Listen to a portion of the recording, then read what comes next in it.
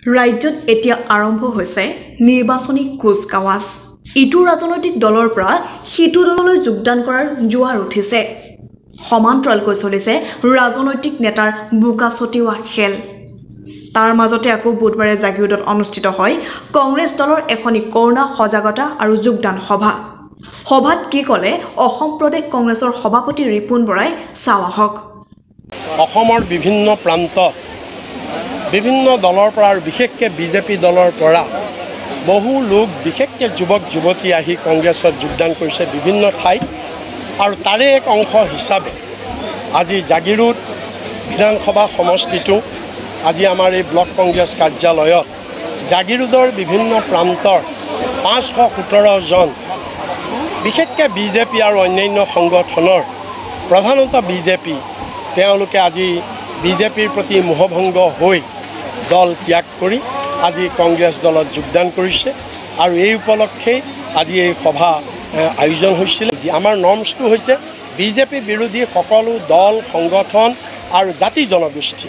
আমি সকলোকে মাতিছোঁ বামপন্থীসকলক আমি মাতিছোঁ তৃণমূলৰ কংগ্ৰেছক মাতিছোঁ এ আই ইউ ডি এফক মাতিছোঁ অজিত ভূঞাৰ আঞ্চলিক দলক আমি মাতিছোঁ বা কৃষক মুক্তি সংগ্ৰামক মাতিছোঁ। আমি আনকি ছাত্ৰ সন্থাই প্ৰত্যাখ্যান কৰিছে। কৰিছে যদি আমি ছাত্ৰ সন্থাকো মাতিছোঁ আমাৰ কোনো নিৰ্বাচনী অংকত আউল নলগায়। তেওঁলোকে আমাক কোনো ধৰণৰ আউল নলগায়। তথাপি আমি কংগ্ৰেছ দল আমি বহল অন্তৰৰ পৰিচয় দি আমি তেওঁলোককো আহ্বান জনাইছোঁ যিহেতু তেওঁলোকৰো লক্ষ্য একেটাই বিজেপিক উৎখাত কৰা অসমক ৰক্ষা কৰা। যদি লক্ষ্য একেটাই হয় সেইকাৰণে আমি আহ্বান জনাইছোঁ একে লক্ষ্য যেতিয়া আহা আমি একেলগে যুঁজি সেই লক্ষ্যত উপনীত হওঁ।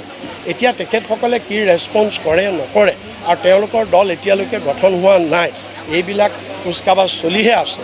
গতিকে সময় লাগিব সেইটো সময়ত দেখা যাব। কিন্তু এটা কথা স্পষ্ট তেওঁলোকে আমাৰ অংকত কোনো আউল নলগায় তেওঁলোকে কোনো আউল নলগায়। একাংশই যোগদান কৰিব পাৰে সেইটো কোনো ডাঙৰ কথা নহয় তেওঁলোকৰ এইটো ব্যক্তিগত সিদ্ধান্ত। কিন্তু একাংশই কৰিছে কিন্তু বৃহৎ অংশই কিন্তু বিজেপিৰ পৰা ওলাই আহিছে। একাংশৰ বিপৰীতে বৃহৎ অংশ কিন্তু বিজেপিৰ পৰা ওলাই আহিছে আৰু আমাৰ কংগ্ৰেছ দলতো বহুতে যোগাযোগ কৰি আছে আৰু হয়তো আমাৰ দলতো যোগদান কৰিব। গতিকে যিকেইজন গৈছে সেইকেইজনে বিজেপিক এতিয়া বিজেপি এখন অলৰেডি ডুবন্ত জাহাজ সাগৰৰ মাজত ডুব গৈছে তাৰ পৰা কোনেও আৰু বিজেপিক এতিয়া উদ্ধাৰ কৰিব নোৱাৰে। যিমান ডাঙৰ তাৰকা নাযাওক বিজেপিক এতিয়া উদ্ধাৰ কোনেও কৰিব নোৱাৰে। বিজেপি এতিয়া ডুবন্ত জাহাজ কোনো ডাঙৰ তাৰকাই উদ্ধাৰ কৰিব নোৱাৰে বিজেপিক। আচুৰ ৰাজনৈতিক দলে কোনো আউল লগাব নোৱাৰে কংগ্ৰেছৰ অংকত। কংগ্ৰেছৰ মহাজোঁট বন্ধনত সকলো দলৰ বাবে খোলা আছে দুৱাৰ। কংগ্ৰেছৰ আহ্বানক ছাত্ৰ সন্থাই প্ৰত্যাখ্যান কৰিছে। বুধবাৰে জাগিৰোডত উপস্থিত হৈ এই মন্তব্য কৰে অসম প্ৰদেশ কংগ্ৰেছৰ সভাপতি তথা ৰাজ্যসভাৰ সাংসদ ৰিপুণ বৰাই। জাগিৰোডত আয়োজিত কৰোণা সজাগতা আৰু যোগদান কাৰ্যসূচীত উপস্থিত থাকি সাংসদগৰাকীয়ে কয় যে কংগ্ৰেছ বা A I U D F এতিয়া ইছ্যু নহয়। অসমৰ ইছ্যু এতিয়া বিজেপিৰ অপশাসন। একাংশ শিল্পীৰ বিজেপি গমন সন্দৰ্ভত ৰিপুণ বৰাই কয় একাংশই বিজেপিত গৈছে কিন্তু বৃহৎ একাংশই বিজেপিৰ পৰা ওলাই আহিছে। আনহাতে অসমৰ পৰা বিজেপিক উৎখাত কৰিবলৈ বিজেপি বিৰোধী সকলো দলৰ বাবে কংগ্ৰেছৰ দুৱাৰ খোলা আছে বুলি মন্তব্য কৰে কংগ্ৰেছ সভাপতি ৰিপুণ বৰাই। সভাখনত উপস্থিত থাকি নগাঁও লোকসভা সমষ্টিৰ সাংসদ প্ৰদ্যুৎ বৰদলৈও।